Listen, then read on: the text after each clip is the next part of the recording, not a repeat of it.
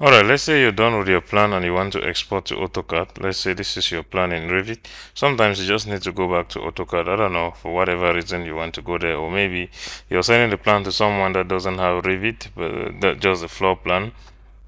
As you know, it can be a little bit complex working with Revit too because when you're saving in Revit, there is no way that you can save to an earlier version. So sometimes you need to convert the plan back to AutoCAD, or maybe you're just getting in there to do some detailing and stuff.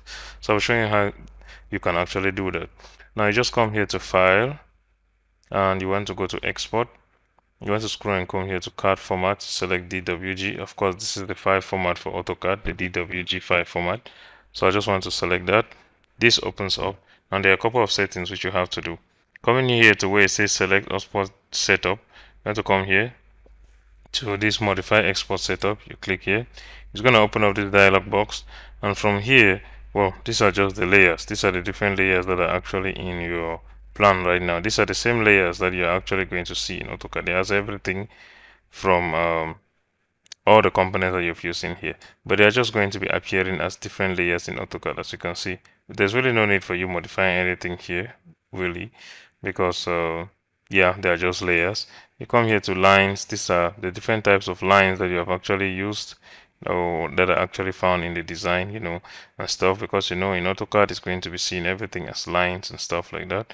So there's really nothing to be done here. Just allow this at all at the automatically automatically generate line type.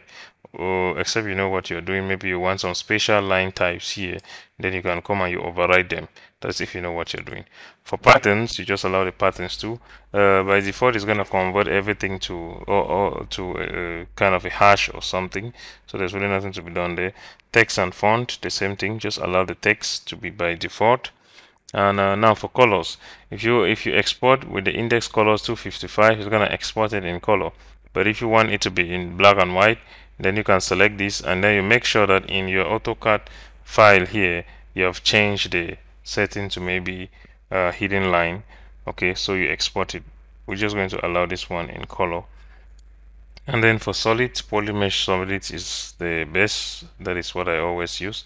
And for unit and code coordinate um, you just need to select your unit if you're working in metric unit make sure that the unit that you are going to be working in AutoCAD should be the unit that you select here. This means that if you're working in AutoCAD in meters uh, make sure that you select meters here. If you're working in centimeters make sure you select centimeter. In millimeter select millimeter. If you were to select something else you go and you have a problem in AutoCAD. So make sure you select the right unit here. I'm just going to keep this on meter.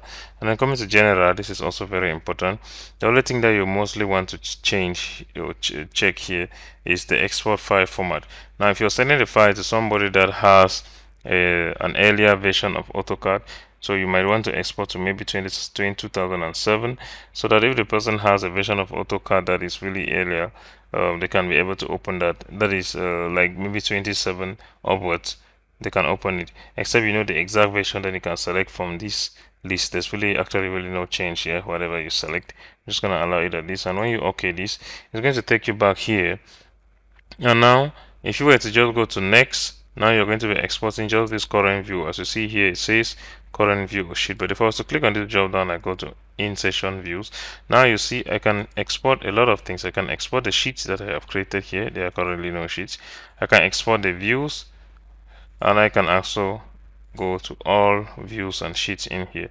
Well currently it's just one as you can see. Let's come here.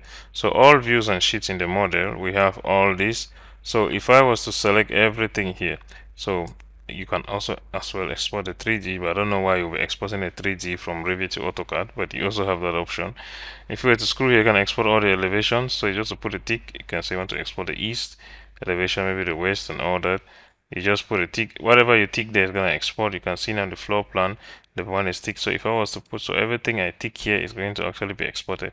Now when I have selected everything that I actually want maybe you want the roof plan too the parapet or I don't know whatever levels I'll just click on next and it's gonna open up this dialog box. And the only thing I want to do now is just to actually um, select the you can select the file format here again. And of course you can give it a name. And maybe you create a folder that all, all those plans will be exported in. And you click on OK and it's going to perform that export into that respective folder. And as simple as that that is how you export from Revit to AutoCAD. I hope you have learned something today. Don't forget to like and share this video and also click on the first link that you see in this video to get the full BIM course. Thank you and see you in the next tutorial